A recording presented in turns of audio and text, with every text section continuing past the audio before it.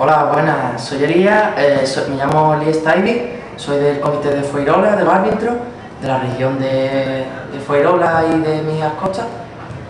Eh, mi objetivo para este año pues, aprender lo máximo, intentar subir de categoría y arbitrar un partido de regional si puede ser.